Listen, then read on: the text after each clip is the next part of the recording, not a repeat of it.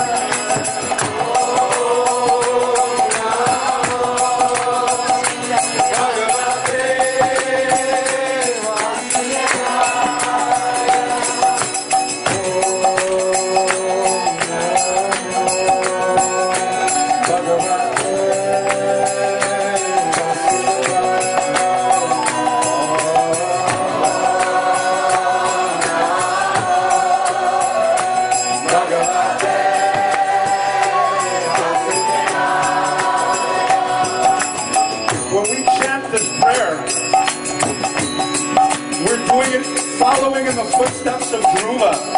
So what does that mean? We have a recipe. If we follow this recipe, we can also get vision. We can also get darshan of Vishnu. That's why we chant these mantras. Otherwise, I could just make up any mantra that I wanted. But we chant the mantras that are given by the great saints. So we can taste what they made, their recipe. We can taste it, right? Believe it or not, one of you guys today, if you just chant this mantra with enough love, you could be sitting there and the guy next to you wouldn't be seeing what you're seeing. Together. Oh.